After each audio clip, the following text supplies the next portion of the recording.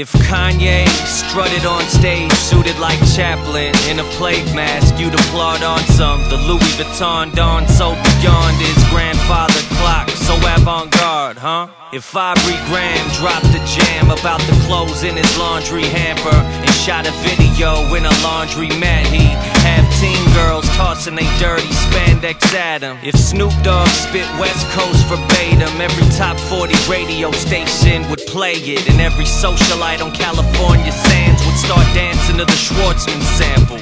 If Jay Z sampled a Daniel Johnston tune, you download Daniel's catalog of music. Don't try to deny it, it's probably true. Cause whatever Jigga say, you gon' follow, dude. If Akon sang on Brian Wilson, I would've got the whole world to listen. The cosign will change your whole life. It's so absurd. I would've won the fucking Juno I deserve.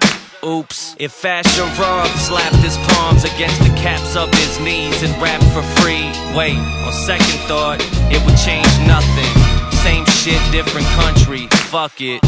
Gucci Mane wore a toque and glasses and paid more attention to his music than fashion, kids would dress for winter and rock rims with prescription lenses in them. If Eminem dropped And went Jonestown. The concept would blow and send fans racing to newspaper stands to see his Rolling Stone cover with the Kool-Aid Man. If Rick Ross released Ken Park, Puffy would put up the ducats and pay Harmony Korine to direct a video with hobos on heroin, midgets on a merry-go-round. Bet you would air it then. If 50 Cent wrote Boom Baba Boom, the second verse would be on every blog dispute. An MC shit talking big and Pac, no way. Yet every rapper thinks they clever when they shit on Cobain. If Lil Wayne let the children die, over a million children alive would line up at midnight with signs at Best Buy to buy the record Pitchfork rated a nine. Right? If Jay Electronica, Jay Electronica wrote nobody with a notepad, you'd go mental over every reference from Bon Jovi to R. Crumb, from Usain Bolt John Lennon.